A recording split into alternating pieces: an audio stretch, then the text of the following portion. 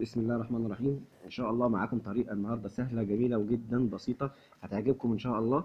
آه إن شاء الله هنجرب الكارتة إزاي إنك تعرف توصل الكارتة آه من غير ضفيرة. حاجة سهلة جدا وبسيطة. حضرتك أنت كل اللي محتاجه. بنسة أمبير أو إيفو تمام؟ هتجيبها على وضع الصفارة. إزاي تعرف إن ال 220 داخل في الغسالة أو في الكارتة بتاعتك؟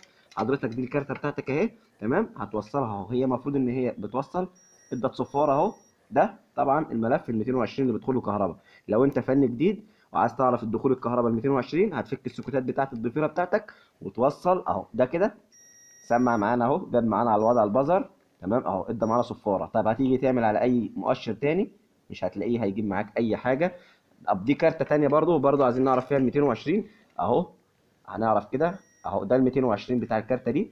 تمام؟ موصل معانا اهو. ده طبعا اهو مش هيقرأ معانا. اهو. أي حاجة تانية فيها مش هتوصل معانا يبقى أنت كده حضرتك دي الطريقة الصحيحه طبعا ما ينفعش تجيب تقيس الضفيرة ديت على 220 كهرباء توصل لها كهرباء وتقيس على وضع ال buzzer لأن غلط. تمام؟ يبقى أنت بتشيل الكارتة الأول لو الكارتة عندك بتجربها على الإيه؟ تشوف ال- الوضع ال 220 بتاعها. هو عامة الوضع ال 220 بتاعها دايما بيبقى جنب ال trans في الغسالات جميع الغسالات بيبقى جنب ال trans بتلاقي الإيه؟ الصفارة دي. أنت بتعرف عن طريق إيه؟ البازر أو الصفارة دي. إن شاء الله في فيديو تاني بقى هنقول لكم الطريقة سهلة ومحتاجة إيه وإزاي إنك تعرف توصلها. ونتمنى استنونا في الفيديو إن شاء الله الفيديو القادم إن شاء الله أو ال- الحلقة التانية إن شاء الله معانا.